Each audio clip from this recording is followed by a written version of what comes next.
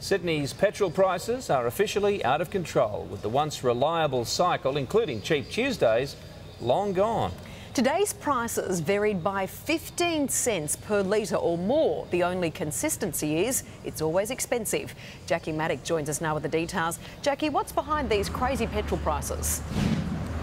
Good evening, Tash. Well, it's a raft of world market forces that combine to put upward pressure on petrol prices.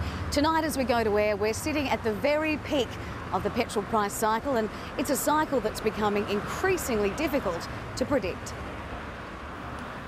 Discounts like this don't last long. And I saw how cheap it was, and I thought, why not? Philly's the final motorist to fill up with Sydney's cheapest fuel. Just minutes later, the unleaded price leapt 10 cents. Because it's been 24 hours after the majors changed their prices, so it's given a competitive edge. Pinpointing the best 24 hours to buy is still anyone's guess. It's a lottery dip.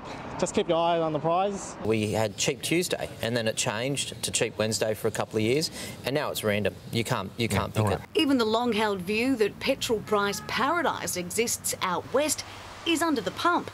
At Blacktown and Campbelltown, $1.56.9 was this morning's average price.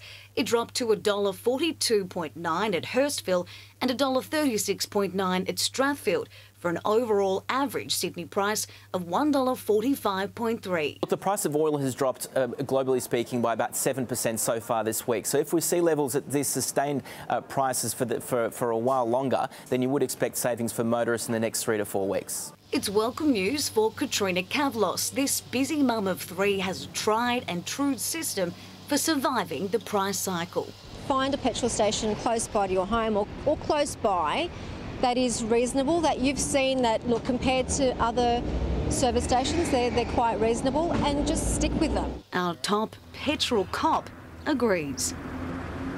Now, Petrol Commissioner Joe Dimasi sympathises with motorists. He says it is difficult to pick the cheapest day because the petrol cycle has blown out in Sydney so far this year to as much as 14 days. But that said, his tips for cheap fuel Friday, Saturday, Sunday, and Monday.